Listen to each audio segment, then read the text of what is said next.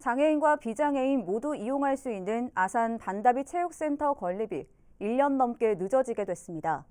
기존 부지가 협소하고 장애인들의 이동이 불편하다는 의견이 제시되면서 아산시가 부지를 변경하기로 했습니다. 보도에 김장섭 기자입니다.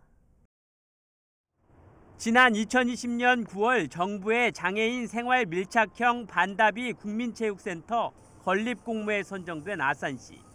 올해 말까지 장애인들의 재활 치료를 돕는 수중 운동 시설과 함께 다목적 체육관과 탁구장, 작은 도서관 등 국비 40억 원을 포함해 모두 100억 원을 들여 복합 문화여가 시설을 건립하기로 했습니다.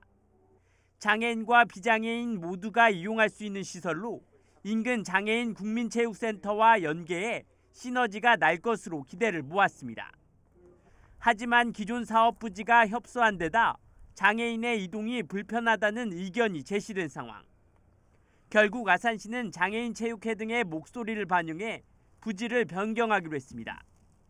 변경된 부지는 장애인 국민체육센터와 가까운 곳으로 시는 반다비 체육센터가 건립되면 두 건물을 연결해 장애인의 이동 편의를 높이기로 했습니다.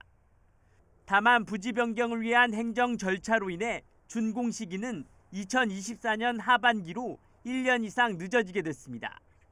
아산시는 현재 사업 부지를 확정한 상태로 이달 안에 지방재정 투자 심사를 받은 후 실시 설계 등을 거쳐 내년 6월 착공에 들어갈 예정이라고 밝혔습니다.